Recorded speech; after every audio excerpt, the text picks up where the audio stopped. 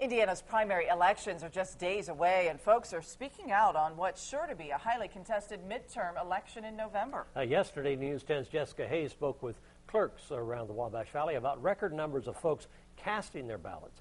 Today, she takes a look at what's on the minds of Valley voters.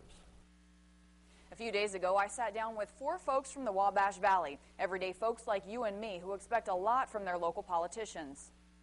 The group, one Republican, one Democrat, a Libertarian, and a Tea Partier, disagreed on the Wabash Valley's need for health care. This month at St. Ann Clinic, we'll probably see our 50,000th patient at, at no charge.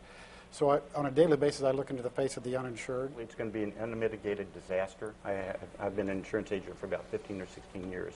What it's going to do it, to the cost of individual health policies in this country is obscene. But one thing they did agree on Indiana's politicians better keep their constituents in mind and stop spending money they don't have. Two of the most sought after seats affecting the entire Wabash Valley are Brad Ellsworth's House seat and Evan Bayh's Senate seat. Ellsworth ran as a very conservative uh, Democrat, but since he's been in office, he voted for the bailouts, uh, he voted for this health care bill, and I think that uh, a lot of people in Indiana did not get what they expected when uh, they voted for him.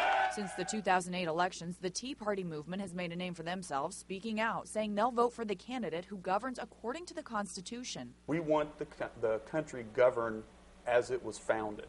Yes, we're angry. We're very angry we don't like what we're seeing. A CBS poll shows that 73% of Americans are unhappy with the job Congress is doing, and more than half think Obama is steering the country towards socialism. But these four disagree on whether that'll be enough to again bring about change in those we send to Washington, D.C.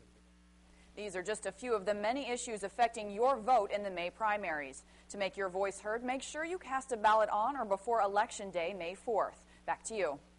Thank you, Jessica.